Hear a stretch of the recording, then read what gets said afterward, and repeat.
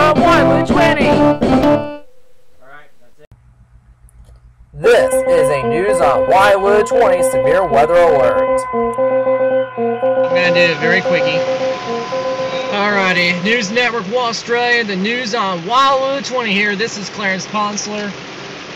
As you can tell, we got some blinding rains going down in Lowell, Indiana, just off the intersection of US 41 and State Road 2.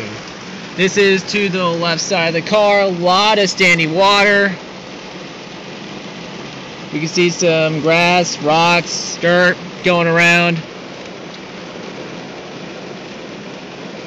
Very nasty day to be driving in this right now. This is the types of rain, these are the types of rain you do not need when you're under a drought. And then you get these nasty, nasty, heavy thunderstorms. This will cause some flash flooding easily. I would not be surprised to see flash flood warnings in southern Lowell County. I'm sorry, southern Lake County, I should say.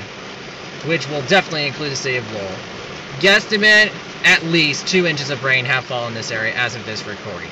So, just give an idea of the bad weather that we have to drive through.